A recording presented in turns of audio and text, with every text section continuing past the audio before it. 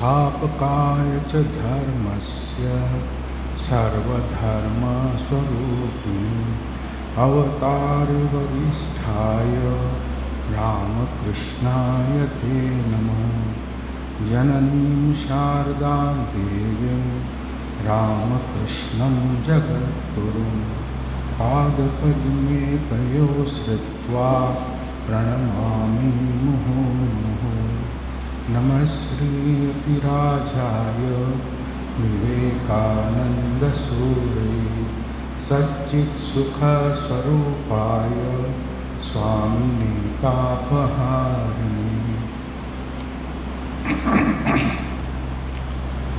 ॐ पार्थाय प्रतिबोधितां भगवता नारायणेन स्वयं व्यासेन ग्रथितां पुराणमुनिना मध्ये महाभारतम् अद्वैतामृतवर्षिणीं भगवतीम् अष्टादशाध्यायिनीम् अम्ब त्वाम् अनुसन्दधामि भगवद्गीते भवद्वेषिणी। वसुदेवसुतं देवं, कंसचाणूरमर्दनं, देवकी परमानन्दं, कृष्णं वंदे जगद्गुरुं। मूकं करोति वाचालं पङ्गुं लङ्घयते गिरिं।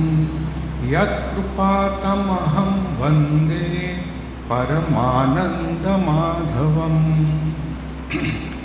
हम लोग यहाँ पर गीता का अध्ययन कर रहे हैं। हम क्लास न कह के अध्ययन कहना ही होगा। अरे गीता यज्ञ ही हो गया अध्ययन करना हमारे भारतीय संस्कृति के हिसाब से कोई भी शास्त्र का अध्ययन करना माने यज्ञ में आपका भाग लेना। तो एक गीत, गीता रूपी ज्ञान यज्ञ का हम लोग यहाँ आयोजन किया है और उसी पर हम धीरे धीरे आगे बढ़ रहे हैं। हमने देखा, पिछले क्लास में हमने देखा कि यह जो गीता ज्ञान ये गीता रूपी शास्त्र भगवान के श्रीमुख से निकला हुआ है। भगवान श्री कृष्ण का हृदय है और ये परम ब्रह्म भगवान ने इस धरती पर जन्म ग्रहण करके ब्राह्मणत्व की रक्षा के लिए, धर्म की रक्षा के लिए जन्म ग्रहण किया। और कैसा है, जन्म ग्रहण किया ऐसा लगता है, किंतु वे परब्रह्म स्वरूप ही है। अपनी जो माया है माया को स्वीकार करके इस पृथ्वी पर उन्होंने जन्म ग्रहण किया और यही उपदेश गीता, जो सर्व वेद शास्त्रों का सार है यह जो सर्व वेद का सार है, यही उपदेश वे अर्जुन को करते हैं। अब सर्व वेद में अपने भारतीय शास्त्रों के अनुसार, उपनिषद बोलो योग शास्त्र बोलो, जितना भी हम पढ़ते हैं, और सभी का सार गीता में, अगर आप गीता का अध्ययन ठीक से करें तो भारतीय संस्कृति, भारतीय शास्त्र का संपूर्ण ज्ञान आपको आ सकता है। तो हम आगे धीरे धीरे गीता में देख रहे हैं ना, गीता भगवान श्री राम कृष्ण कहते हैं, गीता क्या है? गीता जैसे दस बार बोलने से, गीता गीता गीता बोलने से त्यागी का भाव उत्पन्न होता है। तो गीता का जो सार है, वह क्या है? त्याग। और उसके पश्चात श्री रामकृष्ण देव कहते हैं कि, हे जीव, तुम सब कुछ छोड़कर ईश्वर लाभ की चेष्टा कर। और कहते हैं बाद में, कोई साधु हो, चाहे गृहस्थ, मन से सारी आसक्ति दूर करनी चाहिए।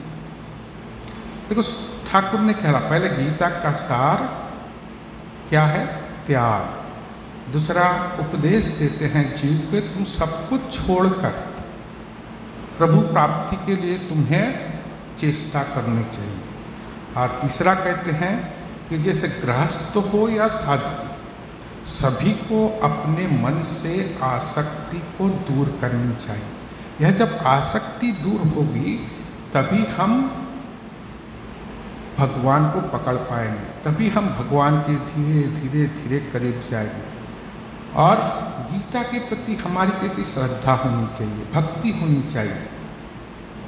जैसे श्री रामकृष्ण देव इसी श्रद्धा, भक्ति की बात करते हुए एक एग्ज़ाम्पल देते हैं।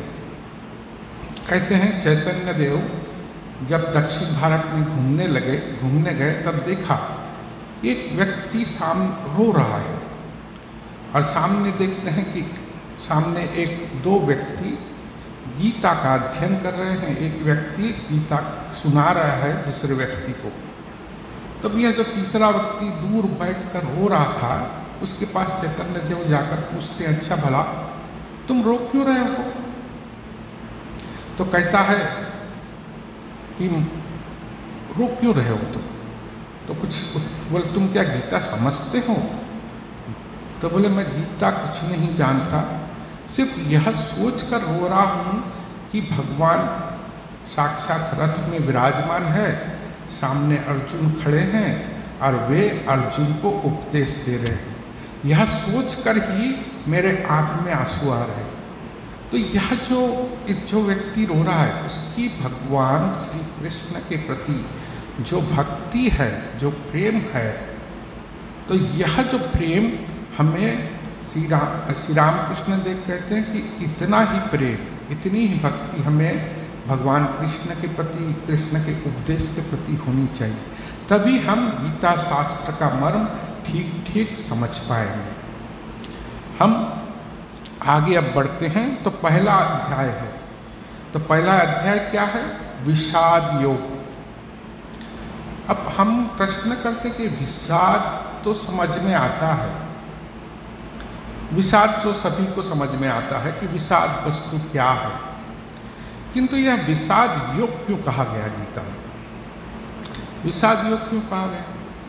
तो विषाद भी जिस तरह हम प्रभु की प्राप्ति के लिए प्रभु का ज्ञान प्राप्त करके हम जैसे भगवान में तनलीन हो सकते, भगवान में हम, भगवान के साथ हमारा योग हो सकता है, उसी तरह यह जो विषाद है अपने जीवन में, यह भी एक योग का कारण हो सकता है। किस तरह? जैसे भगवान के पास अर्जुन रोते हैं। भगवान रोते हैं तो भगवान के सामने रोना भी एक योग है। भगवान के साथ प्रार्थना कर रहे, रो रहे, यह भी एक योग है। और अर्जुन किसी अहरे गहरे के पास थोड़ी रोए। वो तो रोए किसके पास? भगवान कृष्ण के पास। भगवान श्री कृष्ण के पास सामने ही रोते हैं। और भगवान श्री कृष्ण श्री कृष्ण कौन है? परब्रह्म परमेश्वर है। वो तो हर दिल की बात जानते हैं।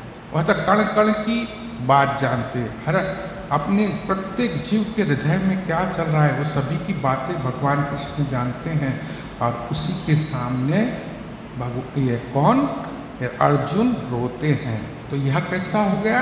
ये हो गया कि एक विषाद भी अगर करना है तो हमें किसके पास रोना भी है?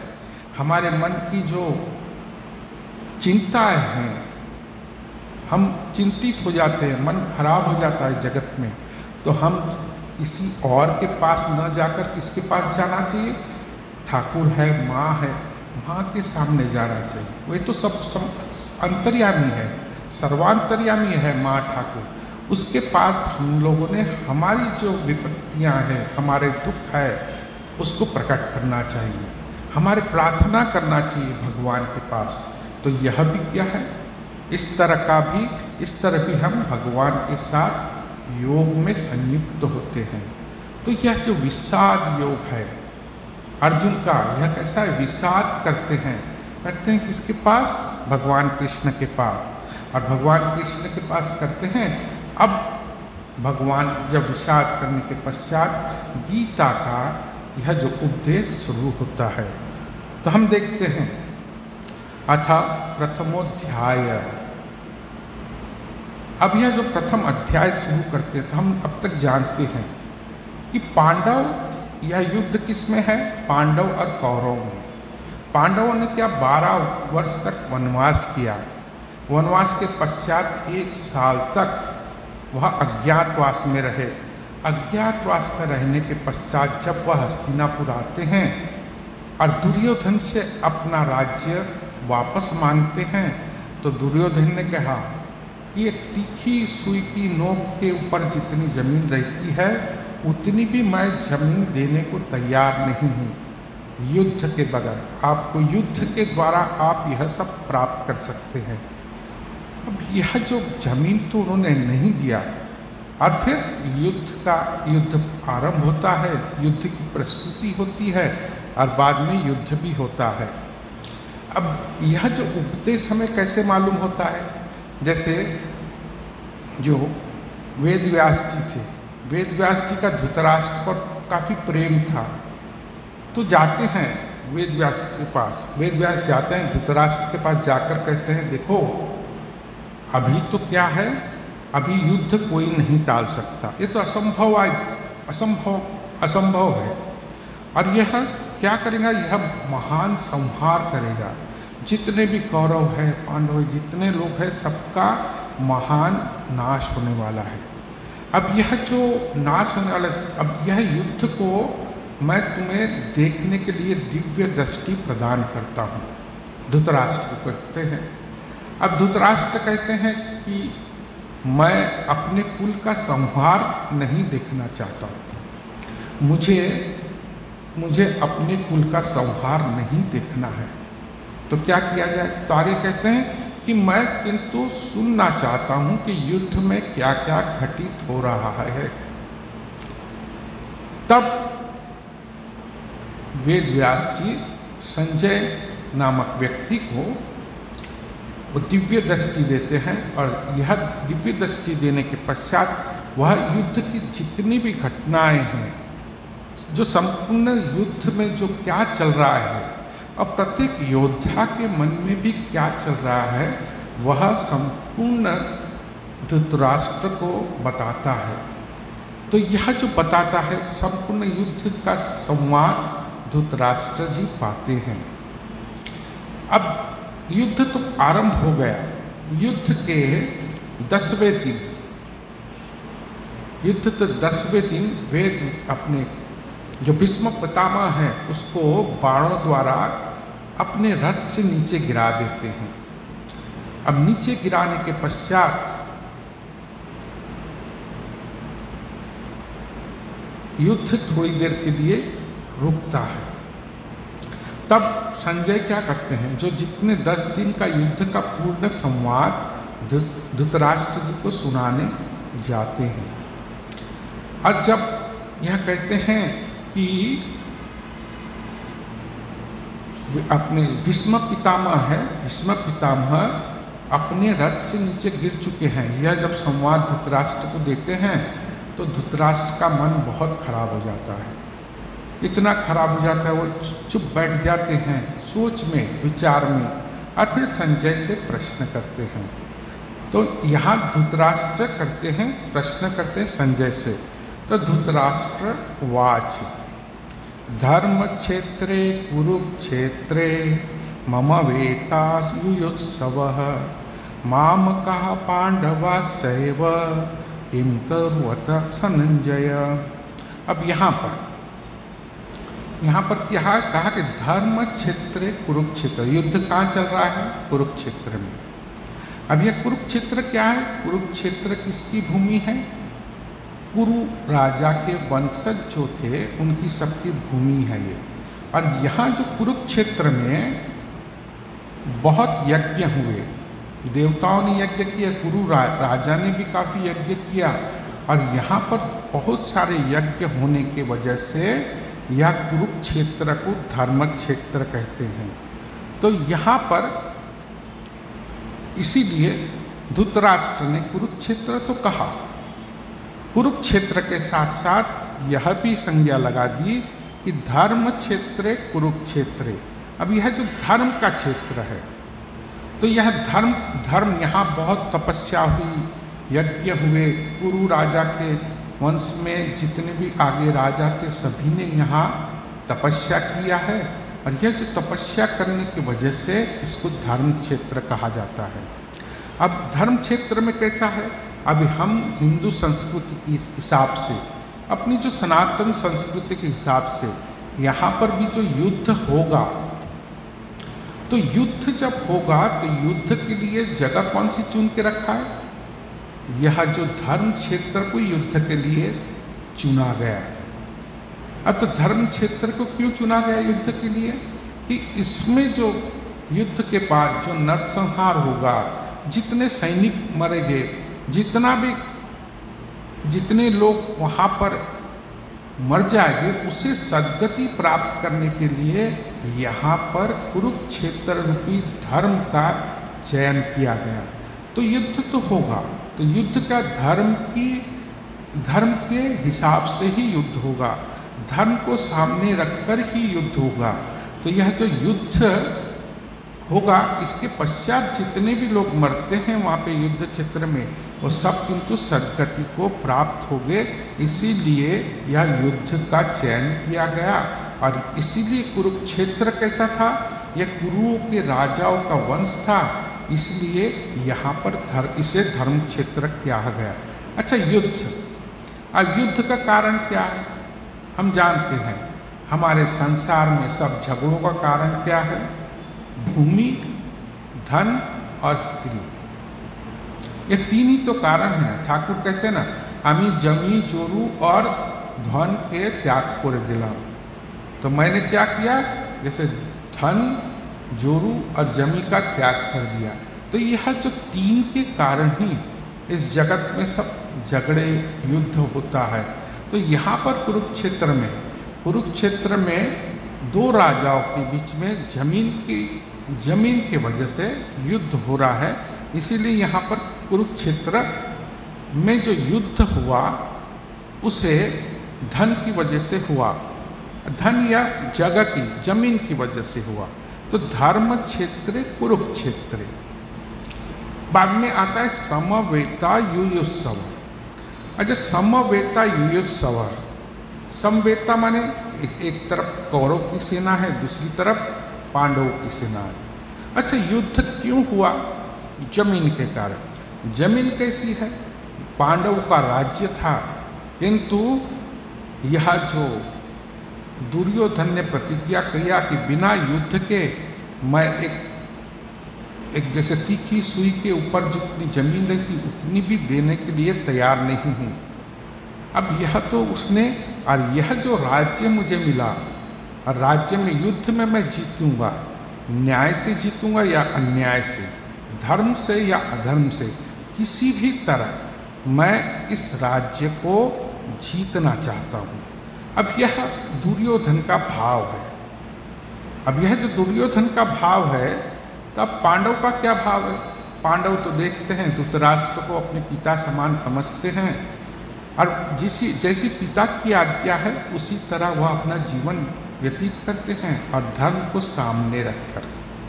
तो पांडव तो युद्ध के लिए तैयार नहीं थे। युधिष्ठिर तो युद्ध के लिए तैयार नहीं थे। जिस भी तरह अपना जीवन निर्वाह करेंगे और अपना जीवन व्यतीत करेंगे। किंतु, कुंती जी ने जो माता जी है, पंच पांडवों की माता जी है, उन्होंने युधिष्ठिर को युद्ध की आज्ञा दिया उन्होंने आज्ञा दिया कि जाओ, तुम युद्ध करो। अब कुंती जी तो हम जानते हैं सही सुनो है, भगवान की भक्त है। और इतनी दूर तक भक्त है कि उसने भगवान से अपने जीवन में दुख की याचना किया। अब ये दुख की याचना किया क्यों किया? कि मालूम दुख में हम भगवान का स्मरण अच्छा रहता है, इसलिए दुख की याचना किया। अब फिर कुंती जी के मन में क्या राज्य के प्रति लोभ था? नहीं तो। कुंती जी चाहती है, चाहती थी कि मैं सुख, चैन, आराम से जीवन व्यतीत करूँ। नहीं। वह तो कुछ नहीं चाहती थी। उसका स्वभाव भी नहीं था। वह तो धार्मिक प्रवृत्ति की एक महिला थी। तो फिर कुंती जी ने क्यों युद्ध के लिए प्रवृत्त किया? वह देखती है कि भरी सभा में दुर्योधन ने, दुशासन ने अपनी जो प्रिय पुत्र वधु है, द्रौपदी को वो नग्न करने के लिए, नग्न करने की कोशिश की गई। यह तो घोर अनाचार है, घोर अधर्म है। यह बात कुंती जी को एकदम पसंद नहीं आई। और दूसरी बात, जब भगवान कृष्ण हस्तिनापुर गए, संधि का प्रस्ताव लेकर दुर्योधन के पास तो दुर्योधन, शकुनी, कर्ण, ये सबने मिलकर क्या किया? भगवान कृष्ण को बंदी बनाना चाहा। तो यह भी बात माँ कुंती को पसंद नहीं थी। अब यह दोनों चीज़ पसंद नहीं थी और वो जानती थी, अगर ऐसे ही लोग इस पृथ्वी पर राज्य करेंगे तो धर्म का ह्रास होगा। जो साधारण व्यक्ति है, वह क्या हो जाएगा? उसका, उसको कष्ट होगा। साधारण व्यक्ति का इस जगत में सुनने वाला कोई नहीं हुआ। और इसी तरह पृथ्वी पर अधर्म का प्रभाव बढ़ता जाएगा। तो यह जो अधर्म के प्रभाव को रोकने के लिए कुंती जी ने युधिष्ठिर को युद्ध की आज्ञा दिया। अब यह जो युद्ध की आज्ञा दिया, इसी आज्ञा में प्रवृत्त होकर, इस आज्ञा को मानकर अब युधिष्ठिर जी निकले हैं युद्ध के लिए। अब यहाँ पर प्रश्न आता है, इसके बाद हम देखते हैं कहते हैं, समवेता ईसो माम का पांडवाश्चैव। अब धुतराष्ट्र है। कहता है, माम कहा पांडवाश्चैव। अब धुतराष्ट्र क्या है? आँख से अंध है। अंध है। और राष्ट्र को धारण करने वाला धृतराष्ट्र कहते हैं। अब व्यास ने नाम भी बहुत अच्छा दिया।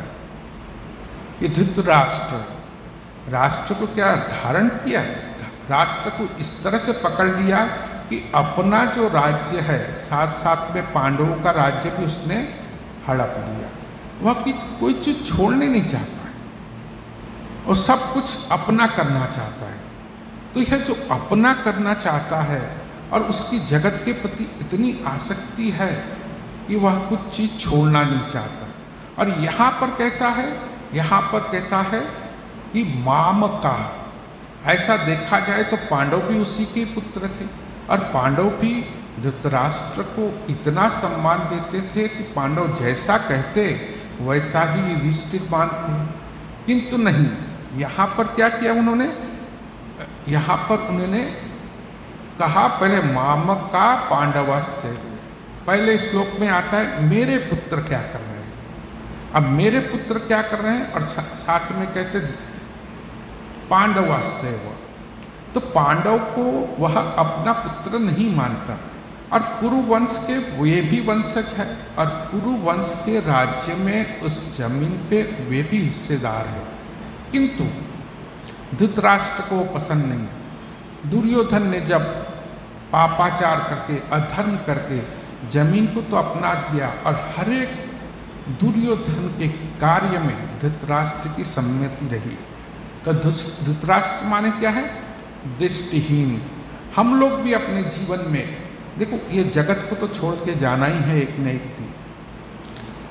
हम लोग भी देखते हैं, हम लोग भी अपने जीवन में कैसा है? सभी चीज़ को हम अपना है अपना है अपना है करके बोलते हैं। है ना?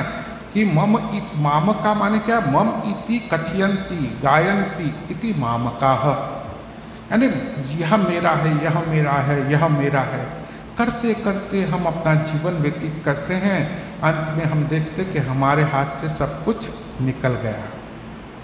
तो यह जो मे, मेरी जो प्रवृत्ति है कि मेरापन है या मेरापन को हमने धीरे धीरे अपने जीवन से निकालना होगा तभी हम धर्म के मार्ग पर अग्रसर हो गए तो यहाँ पर धुतरास जैसा दृष्टिहीन हो गया। माया के प्रभाव से। तो हमें, हम भी तो माया के प्रभाव से दृष्टिहीन हो चुके हमें धर्म की दृष्टि अपनाना चाहिए। धर्म क्या कहता है? इसी को हमने अपने जीवन में उतारना चाहिए।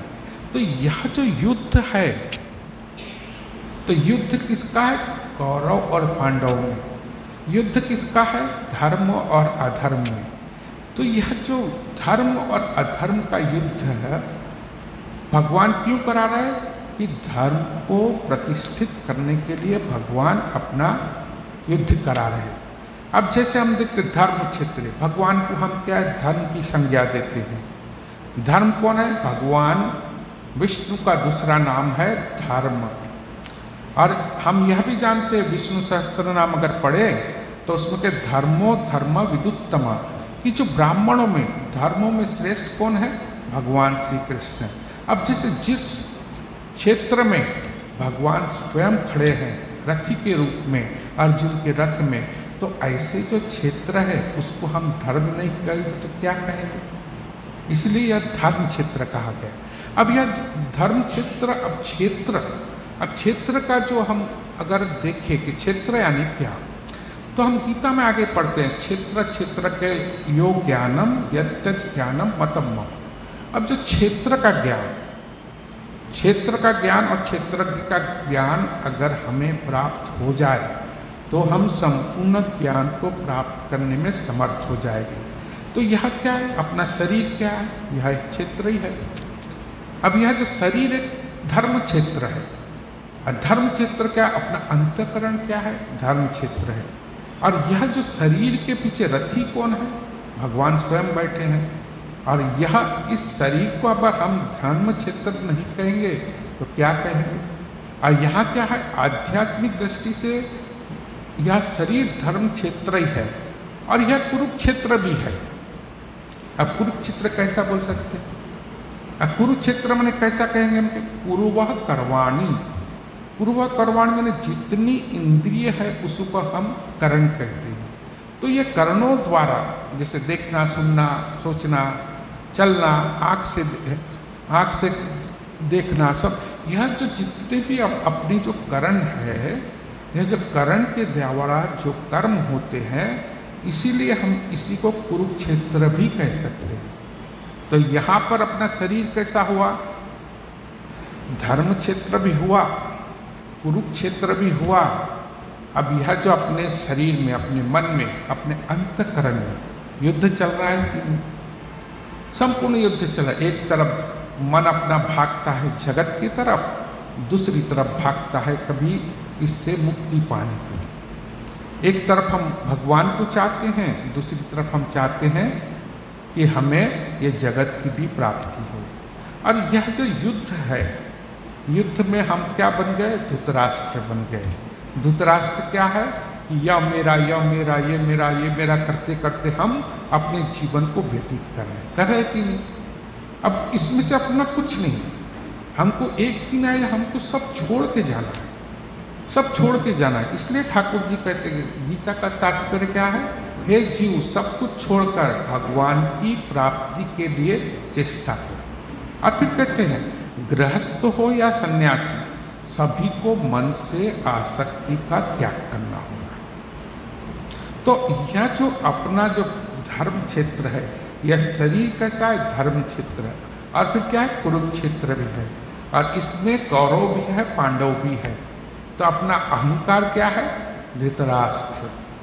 धृतराष्ट्र क्या चाहता है कि मुझे ये मिल जाए, ये मिल जाए वे मिल जाए, ये संपूर्ण जगत में सब कुछ उसे मिल जाए। किंतु मिलता है कुछ नहीं मिलता है। तो हमें किस तरह से अपना जीवन व्यतीत करना चाहिए? गृहस्थ हो या सन्यासी हो, इसका जो हम, इसका जो ज्ञान हमें कहाँ से प्राप्त होगा? इस गीता से। हम धीरे धीरे देखेंगे, भगवान कृष्ण ने जितना अपना सार है, वेदों का सार, धर्मों का सार, उपनिषदों का सार, संपूर्ण सार इस गीता में भगवान कृष्ण ने कहा है। तो हम अपने जीवन में किस तरह धीरे धीरे धीरे आगे बढ़ेंगे, यह हम देखते हैं आगे। अब देखते हम अपने जीवन में ये भी देखते कि जिस मन में काम है तो उस मन में क्या फिर? एक ब्रह्मचर्य की वृत्ति उत्पन्न होती है। जिस मन में लोभ है, उसी मन में शांति भी है। जिस मन में क्रोध आया तो क्रोध के साथ साथ हम शांति का भी मन अपने अंतकरण को अगर ठीक ढंग से देखे तो सब दिखाई पड़ता है। तो यह जो समवेता युत्सव कहाँ है?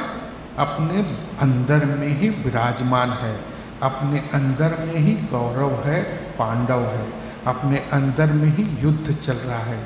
तो यह युद्ध की संज्ञा, धर्म क्षेत्र, कुरुक्षेत्र तो हमें भी अपने जीवन का युद्ध लड़ना है। भगवान, अब स्वामी विवेकानंद कहते हैं, जब तक जीवित है, तब तक आपके अंदर युद्ध चल ही रहा है। एक तरफ़ मन आध्यात्मिकता की ओर जा रहा है दूसरी तरफ़ मन आपका जगत की ओर जा रहा है। तो यह जो every moment there is a fight between spiritual man and worldly man every moment हर एक क्षण अपने जीवन में यह युद्ध चल रहा है। तब युद्ध में देखते हैं, अपने जीवन, अब मृत्यु के समय हम देखते हैं, कौरव जीते या पांडव। अगर धर्म की राह पकड़ लिया तो हम पांडव की जैसे जीत होगी। नहीं तो फिर अगर अधर्म की राह पकड़ी तो हमारी हारी हार दुर्योधन के जैसे हम भी हार जाएँगे। अगर हम धृतराष्ट्र के जैसे कैसे है ना दृष्टिहीन ना हो जाए, इस माया के संसार में बंद न हो जाए, यह हमें देखना है। और इसी आगे हम देखते हैं। मामकाश्च ये तो हमारा हो गया मामका पांडवाश्च और अंत में कहते हैं, किम कुर्वत, किम किम कुर्वत संजय। अब किम कुर्वत, अब हम जानते हैं यह लोग क्या कर रहे इस धृतराष्ट्र का तात्पर्य यह है कि पांडव और कौरव युद्ध में क्या कर रहे हैं। अब हम जानते हैं, दस दिन से तो युद्ध हुआ, भीष्म पितामह नीचे सैया रथ के नीचे पड़े हैं तो युद्ध तो हो रही है। तो फिर यह सब कुछ जानने के पश्चात धृतराष्ट्र क्यों कहता है कि किम कुर्वत? तो एक जन महात्मा थे, वो कहते हैं, किम कुर्वत माने किम विशिष्टम अकुर्वत। माने क्या विशिष्ट हुआ? कहा? युद्ध क्षेत्र में। तो युद्ध क्षेत्र में जब संजय को पूछते हैं तो पूछते हैं, किम कुर्वत मैंने कुछ विशिष्ट हुआ क्या? तो यह क्या प्रश्नों विशेष है। यानी विशेष रूप से संजय को धृतराष्ट्र ने प्रश्न किया है कि युद्ध क्षेत्र में कुछ विशेष घटना हुई। तो संजय क्या कहता है? संजय कहता है हाँ अर्जुन को मोह हुआ। और उस मोह का नाश कैसा हुआ? भगवान श्री कृष्ण के उपदेश से उस मोह का नाश हो गया। तो यही एक विशिष्ट घटना घटी और यही जो इनके बीच का संवाद हम धीरे धीरे आगे पढ़ेंगे तो हम आज एक पहले श्लोक की व्याख्या कर चुके हैं। धर्म क्षेत्र, कुरुक्षेत्रे, समवेता युत्सव मामका पांडवाश्चैव किम कुर्वत संजय। अब संजय को दिव्य दृष्टि क्यों दी गई? अब संजय क्या था? संजय को पक क्यों दिव्य दृष्टि दी गई कि संजय पक्षपात रहित था? वह भगवान का भक्त था। उसमें इस पक्ष को लेकर, उस पक्ष को लेकर कोई पक्षपात नहीं था। और जितनी भी घटना युद्ध क्षेत्र में ठीक ठीक हो रही है, वही घटना है, वह धृतराष्ट्र को हूबहू सुना देता था।